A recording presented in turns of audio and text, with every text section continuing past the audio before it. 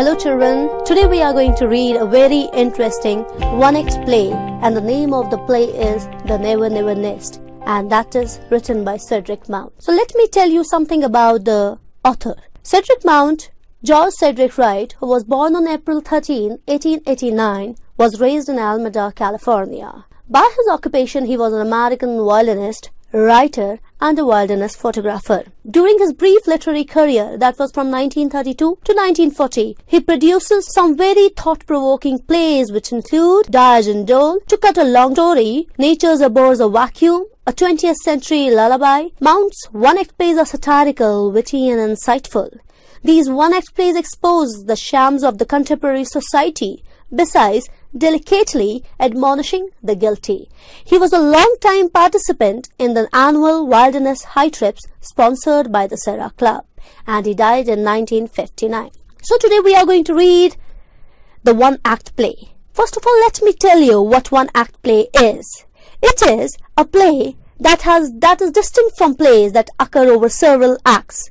The one-act play may consist of one or more scenes. It is brief, it is confined to a single dramatic situation, and it produces a single effect. The number of principal characters is restricted to two or three. The characters are ordinary men and women whom we come across in our lives. So here in Never Never Nest, it is a comic one-act play about a young couple depicting a naive couple Jack and Jill who bought each and every luxury of their life on installments and are living cheerfully without being aware that they would be struggling under the burden of their near future. And they because they make full use of the buy now pay later marketing system. This comedy is very relevant today because today also people we see people buy almost everything now on the installment basis. So let me introduce you to the characters of the play. We have three characters. Is jack an easygoing person he thinks it is wise to buy even an expensive villa by paying for it in installments. Jill, who is his wife, an avid supporter of her husband's views, and Aunt Jane, who is either Jack's or Jill's aunt, she is glad to see that Jack and Jill have all the luxuries but is awestruck when she heard that the couple was going into trouble soon. So let me give you the brief summary of this lesson. Jack and Jill believe in buying furniture to house in easy installments. They have recently purchased a house, car and furniture in installment. Jack has a job, yet is a little hard to pay the installment in time. Sometimes Jack borrows from money lenders to pay the installments. The money lenders he pays back in installments. Aunt Jane is the relative of Jack and Jill. And she makes a visit to their new house.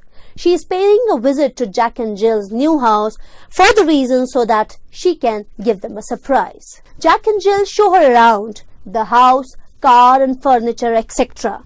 Aunt Jane finds it hard to believe that Jack was rich enough to purchase a house, a car, and a furniture. At this point, both Jack and Jill inform her that they have bought their house and car and furniture in easy installments. Aunt Jane is not convinced. How could they pay the installments? Aunt Jane was glad that Jack and Jill had purchased house and things, but she didn't like the idea of borrowing money to pay the installments. Aunt Jane was not happy at all. She believes that one should spend less than what he has earned. So, feeling pity for Jack, worried how he would pay his next installments, Aunt Jane leaves them a check of ten pounds and goes home. Jack accompanies Aunt Jane to the bus. In the meanwhile, Jill sends the nurse to the post office to post a check to the doctor. Because when Jack returns, Jill tells him that when she has sent the ten pounds to actually Mr. Dr. Martin, from whom they have bought their baby even on installment. So this title points to the trends of a young middle class couple who is interested in buying so many household items and house on easy installments. In the case of Jack and Jill, the matter is extremely serious. They have run greater risk in owing the villa that was beyond their excess. With six pounds earned every week, Jack's weekly installment were higher than his income. The playwright feels that such couples would make a nest but they will never settle happily. If we talk about another version, Jack and Jill call their house a little nest. Like birds make their nest from wires, fibers, and grass. all collected free of cost. Jack and Jill too had made their nest. Right from the villa, they lived to the radio. They had them in all easy installments. It will take them years to own their villa, their car, their furniture, etc. So if we talk about the theme of the play, the hire purchase system, it enables the low income group to have the things and which they cannot buy with their money. On the other hand, the systems make people extravagant. They fall into the habit of borrowing which makes them unhappy. Same thing happens to this situation what happens that they are unable to pay the installments. They might have to leave their house, which simply shows the insecurity of the luxuries of their life. Let me give you the analysis of the play. First of all, the title of the play, The Never Never Nest, has two never in it. Why? Because it is ensuring that nest would be never built. It is emphasizing the neg double negative is emphasizing the impossibility of home. The nest in the title literally refers to the home of birds. Birds make their home by collecting so many things from different trees. Their nest acts as their temporary home as they do migration with respect to the changing weather. But unfortunately, this word nest is suggestibility.